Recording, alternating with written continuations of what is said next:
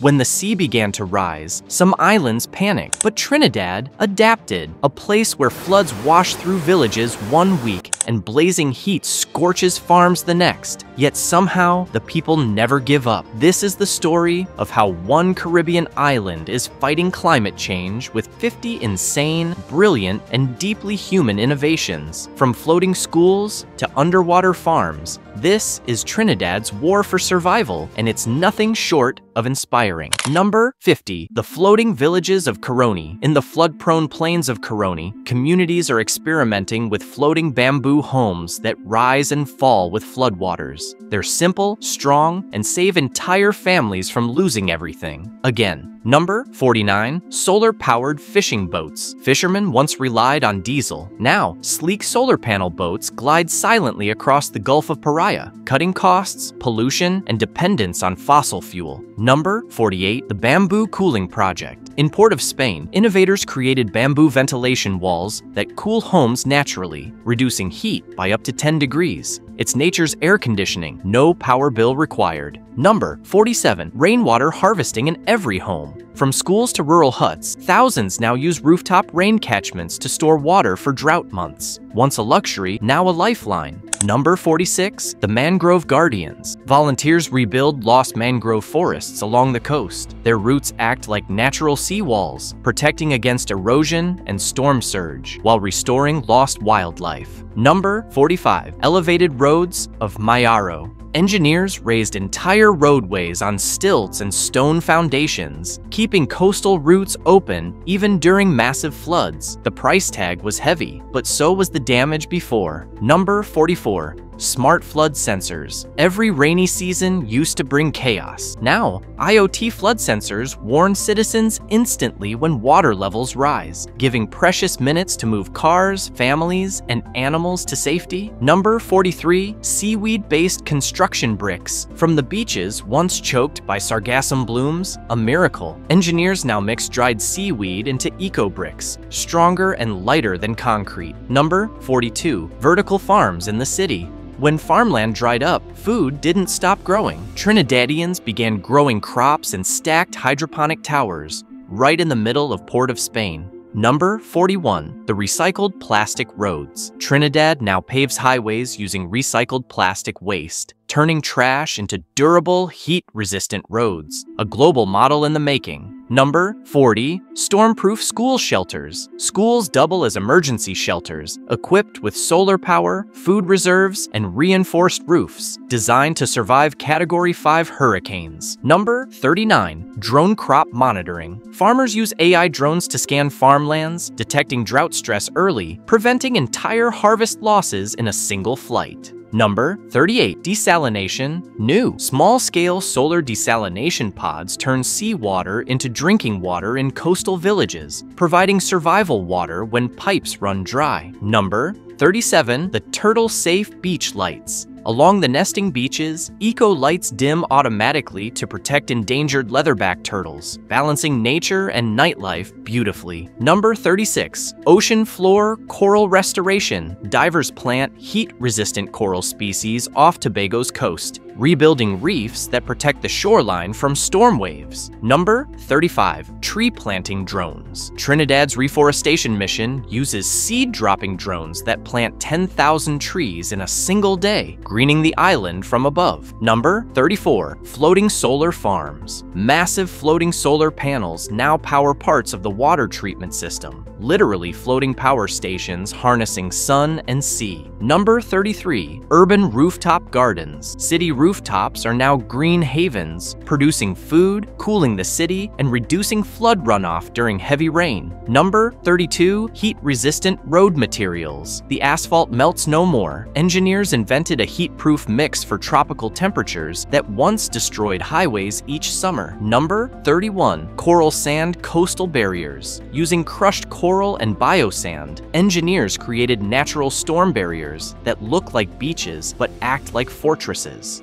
Number 30. The Climate Education Movement. Across Trinidad, schools are transforming classrooms into climate labs. Children learn not just theory, but real survival skills how to build solar powered devices, harvest rainwater, and grow food sustainably. The goal a generation of innovators who see climate change not as doom, but as a challenge to outsmart. Number 29 Floating Agriculture Platforms. Instead of surrendering to floods, farmers now grow food on floating gardens, rafts layered with soil, and crops that rise and fall with the water. This ancient idea, reborn with modern science, keeps food production alive even during extreme weather. Number 28 The Cool Roof Project. Thousands of homes in Trinidad are now coated with solar reflective white paint. These cool roofs bounce heat back into the sky, lowering indoor temperatures by several degrees. It's a simple, low cost idea that's saving families money and cutting emissions from air conditioners. Number 27 Climate Insurance for Farmers. When floods or droughts hit, farmers no longer face ruin. Through climate insurance programs, they receive emergency payments within 48 hours, ensuring that food production continues and families stay afloat even after nature's worst surprises. Number 26 Microgrids for Remote Villages. In storm prone rural areas, independent solar microgrids now keep the lights on when the national grid fails. These self sustaining systems power schools, clinics, and communication lines, making remote communities stronger than ever before. Number 325, Rewilding Abandoned Sugarlands. The ghost fields of old sugar cane plantations are returning to life. Wetlands and forests now grow where monocrops once stood,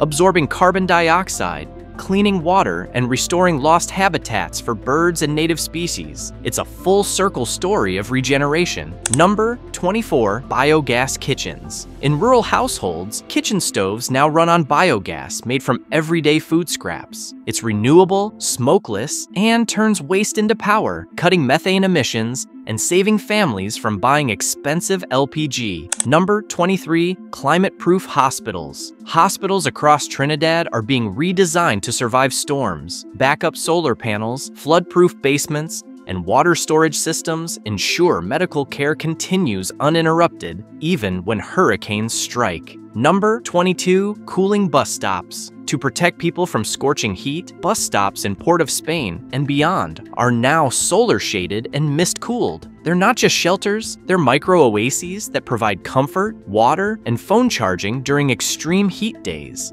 Number 21 Floating Classrooms. When schools flood, learning floats. Floating classrooms, powered by solar panels, travel to affected areas so children never lose access to education. They've become symbols of resilience, education that moves with the tide. Number 20 Smart Water Meters. In a warming world, every drop matters. New digital water meters help families track their daily usage, detect leaks instantly, and reduce waste. An essential step as dry seasons grow longer and rainfall becomes unpredictable. Number 19, the Trinidad Solar Highway. A ribbon of solar panels now runs alongside one of the island's busiest highways, producing clean electricity as vehicles pass. This project turns everyday travel into energy generation, a visible sign of Trinidad's renewable future. Number 18, wind turbines on the coastline graceful white wind turbines now turn along the eastern coast, generating sustainable electricity for thousands of homes. Each rotation replaces fossil fuel use, proving that even a small island can harness the power of the breeze. Number 17. Fire-resistant forest zones. To combat wildfires, forest managers have planted moisture-rich green fire breaks, belts of plants that slow or stop flames before they spread.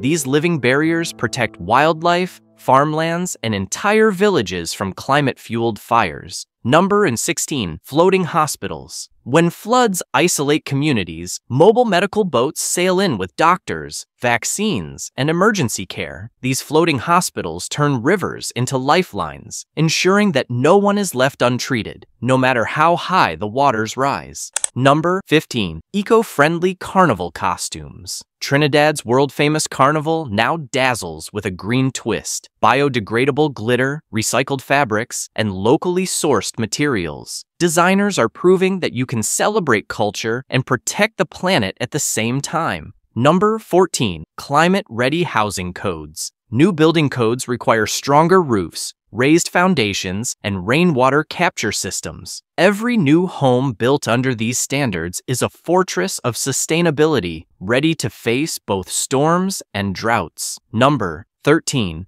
The solar powered airport wing. Piarco International Airport's new terminal extension runs on solar energy. It's not just about cleaner flights, it's about transforming the Caribbean's main travel hub into a model of sustainable design and energy efficiency. Number 12. Smart City Lighting. Streetlights across major towns now use motion sensors to dim when no one's around. This simple smart tech shift has reduced energy use by nearly 40%, saving cities money and cutting nighttime emissions dramatically. Number 11. Flood resistant crop varieties. Local scientists have developed new flood tolerant strains of rice and cassava. Even after weeks of waterlogging, these crops survive, keeping food supplies stable and secure for Trinidad's families. Number 10. Community Climate Radios. When storms knock out power and cell service, hand cranked radios become lifelines. Local climate radio stations broadcast updates, evacuation alerts, and comfort in chaos, keeping isolated villages connected when the world goes dark. Number 9. Digital mangrove mapping. Drones now glide over Trinidad's coastlines, capturing detailed maps of mangrove forests, the island's first defense against erosion and rising seas. These living maps track growth, health, and loss in real time, guiding conservationists to protect every vital root. Number 8. Floating solar desalination plants. Massive floating platforms now turn seawater into drinking water using only sunlight. During droughts, these ocean based desal plants provide fresh water to coastal towns once left desperate, blending innovation with survival in the face of salt and sun. Number 7. Underwater Sculpture Parks. Where coral reefs once died, art now brings life. Underwater sculpture parks, carved from coral safe materials, attract fish, rebuild marine ecosystems, and draw divers from around the world. Tourism fuels conservation, beauty healing nature, one sculpture at a time. Number 6. Recycled Clothing Projects. Trinidad's youth are redefining fashion with purpose. Old clothes are reborn as eco fabric art, upcycled streetwear, and sustainable designs that tell a story, proof that creativity can turn waste into wearable hope. Number 5. The Climate Refugee Center. Built safely inland, this center offers shelter, food, and emotional support to families displaced by coastal flooding. It's not just a building, it's a promise that no one will be left behind when the tides rise. A place of dignity in a time of loss. Number 4. Artificial reefs made of steel. Decommissioned ships are being lowered into the ocean, where they transform into vibrant artificial reefs. These steel giants calm storm waves before they hit shore and create thriving underwater habitats, turning wreckage into resilience. Number 3. Island wide reforestation pledge. By 2030, Trinidad has vowed to plant 5 million new trees, a massive effort to restore lost forests, capture carbon, and protect wildlife. Every seed planted is a silent declaration we will grow back stronger. Number 2. The National Climate Command Center. Deep in Port of Spain, a 24 7 command center monitors storms, rainfall, and sea levels across the island. Satellites feed data to a team that coordinates evacuations, sends real time alerts, and manages disaster recovery, the beating brain of Trinidad's resilience.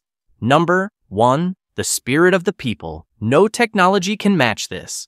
Through every flood, drought, and hurricane, the true strength of Trinidad is its people neighbors helping neighbors, farmers rebuilding fields, teachers reopening schools on floating platforms.